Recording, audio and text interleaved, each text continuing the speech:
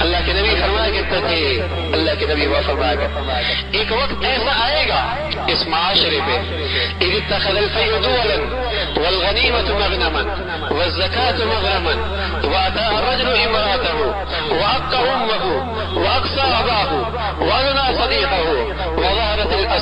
في وذهبت القينات والمغادف وشربت الخمور وساد القبيلة فاسقهم وكان زعيم القوم أرزلهم ولان آخر هذه الأم أولها فتربصوا عند ذلك ريحا حمراء وخسفا وقصفا وآيات كتتابى كنظام قد يسلك فتتابى أو كما قال عليه الصلاة والسلام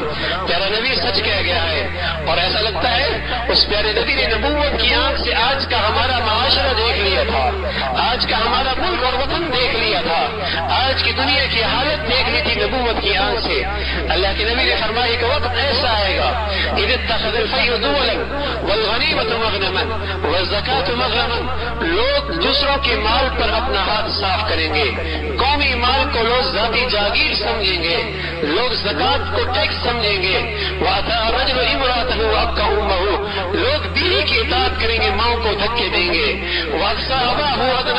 وَأَدْنَى لوگ باپ کے دشمن بن جائیں گے۔ دوستوں کو خیر خواہ سمجھے جائیں سمجھیں گے۔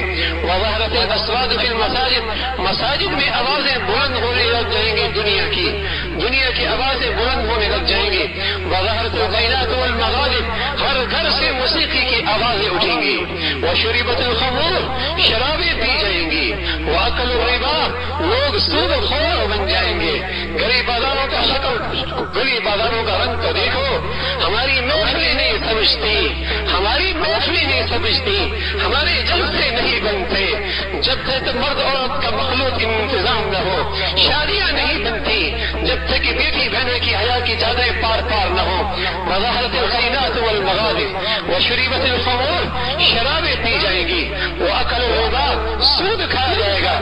اللہ کے نبی نے سچ فرمایا، پھر کیا ہوگا؟ وساد القبیل دفاظ قوم کا لیڈر بدترین انسان ہوگا.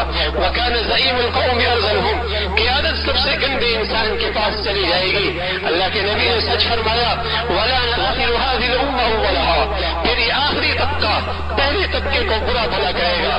وتشبهت النساء بالرجال. ان کی عورتیں مردوں کا سا لباس پہنیں گی. وتشبه الرجال بالنساء. اور ان کے شکل و صورت اپنا لیں گے۔ میرا نبی نے فرمایا فتربصوا ان ذلك ريحا حمراء وخسفا وقذفا وآيات كتتابع كنظام قطع سلكه فتتابع پھر انتظار کرو، زمین کی حرکت کرنا شروع کر دے گی۔ زمین کی حرکت کرنا شروع کر دے گی۔ آسمان بھی روٹ جائے گا۔ زمین و آسمان کی فضائیں بتائیں گی۔ رب ناراض ہو چکا ہے۔ سمندر کی لہریں اور دریا بھی بتائیں گے۔ آسمان والا رب آج روٹ چکا ہے۔ فتربصوا عند ذلك ريحا حمراء وخسفا وقصفا وآيات كتتابع كنظام قطع سلكه فتتابع. پھر ایسی آفتیں ٹپکیں گی پھر ایسے مصیبتیں آئیں گی پھر ایسے زلزلے آئیں گے پھر زمین ایسی پھٹے گی پھر پانی ایسا بفرے گا پھر رب ایسا ناراض ہوگا جیسے کے دھاگے ٹوٹتے فرمانے والے رب کی طرف سے آہتے اب بھی گی